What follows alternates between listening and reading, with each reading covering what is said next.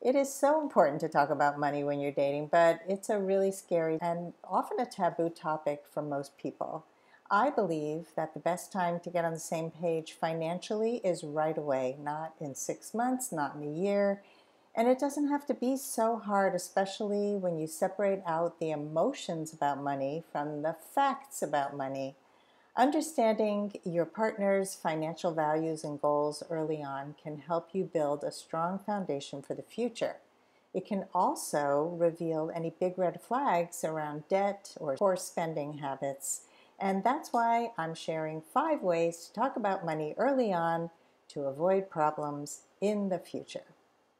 Number one, practice open communication. It all comes down to communication. As early as the first date, I encourage you to learn about your date's finances by asking some simple questions like Are you saving up for anything fun? This is going to give you insight into their personal financial goals and values, and you can see if you're both on the same page. You can even playfully ask to compare credit scores. This is my credit score, what's yours? And have a little challenge, competition. I've actually done that and it was kind of fun.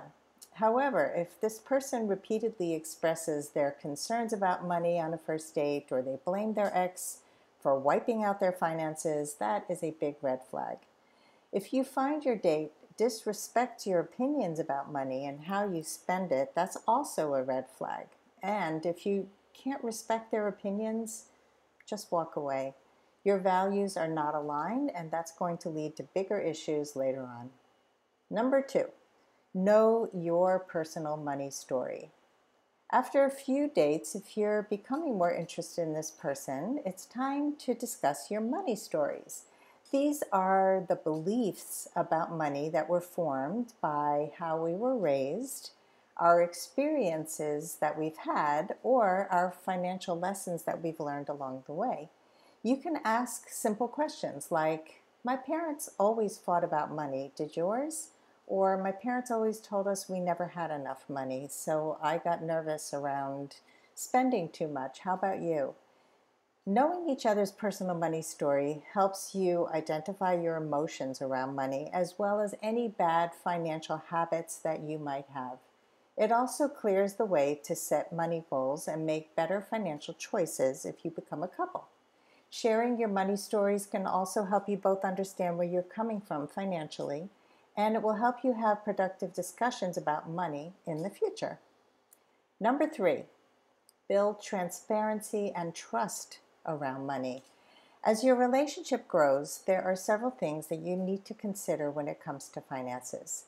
Do you both live within your means? You can find out more about that by asking a question like Hey, I've been thinking about building a monthly budget. Do you use one?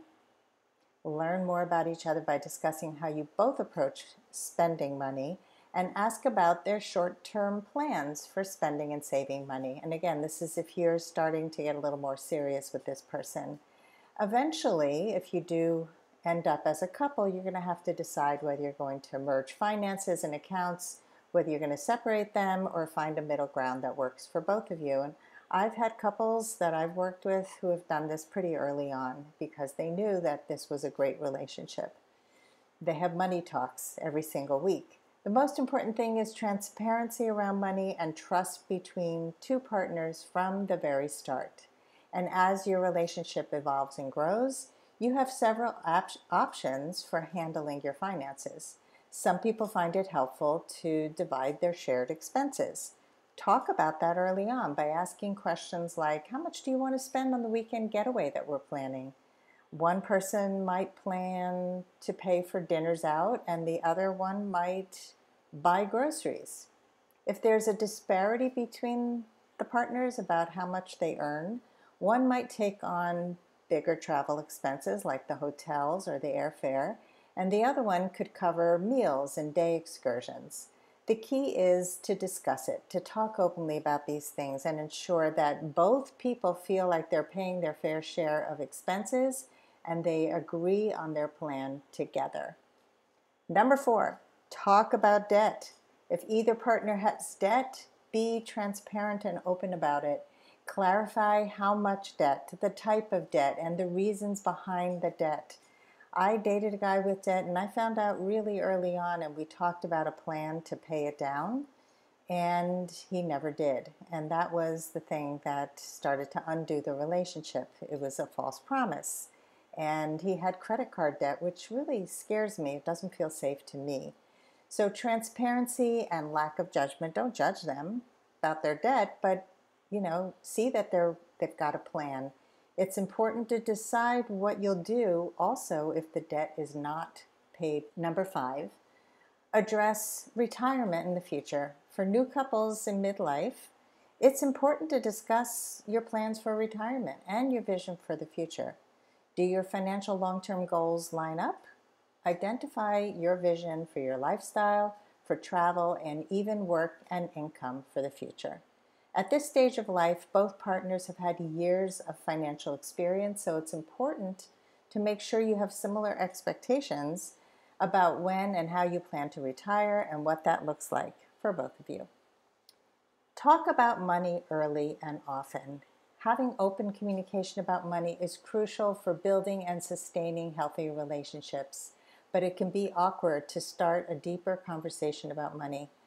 I recommend you start with something like, Hey, I'm really enjoying how our relationship is growing, and I'd like to talk about something important. You know how they say the number one reason couples fight is money? Well, I don't want that to be us. So, sometime soon, I'd like to tell you where I stand financially and how I think about my money. And I'd like to hear about those things from you. What do you think? You know, just put it out there. Give them space to take it in, to respond, and if things get a little tense or emotional, it's okay. If they shut off or they shut down the conversation, take a pause and then try again. And then say something like, I know money is not the easiest topic to talk about. How about we give it some time and maybe we try again in a few days? And if you're met with a hard no, that's a red flag. They're not open. I hope that's not the case because if you can build a relationship on trust and openness around money, you will both be better off.